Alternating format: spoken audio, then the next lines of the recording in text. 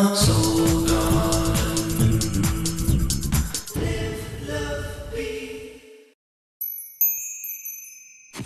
there, magician, and welcome now to Thursday. Well, I think you're going to be a little emotional. Just got to let you know, but things are really going to get passionate.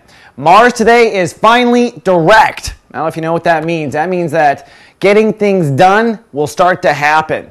Mars retrograde has kept progress from happening on the planet since almost before Thanksgiving. So it hasn't been you, it hasn't been your luck. It's been all of us. We've all been in that trench, and as of today, you're going to feel that come online. In fact, when we wake up this morning, Pisces, the moon's still in Scorpio, still focusing on learning and whatnot. But I'm sure after lunch, big change in temperature. All of a sudden, things are fired up. Maybe it'll be news that you're looking for.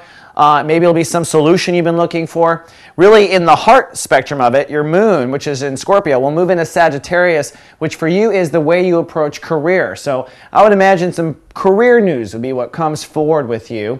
And at the same time, the sun, which is hanging out in the subconscious, it's going to be easily triggered today too. So just realize there's a big tidal wave of masculine energy that's going to hit the planet sometime during the course of today. And being a sensitive kind of candle in the wind that you are as a Pisces, you're going to definitely feel it. And I want you to just go with the flow and do what you do best. Now, with Mars direct, symbolically with the Pisces, it is now time to move forward with your plans of home. So if you've been putting off moving, or if you've been putting off signing that mortgage, or applying for that loan, or telling your roommate to leave, I'm officially telling you to tell your roommate to leave. Mars now is saying move forward with all home plans, all rooting plans, any kind of ideas you had to make yourself feel more rooted, more secure, some addition to the house. This is all this is all home family and with Mars moving forward it means you will have the energy necessary and the resources necessary to pull it off. All right Pisces, that's all I got for Thursday. I'll see you tomorrow with your weekend forecast. Live love be.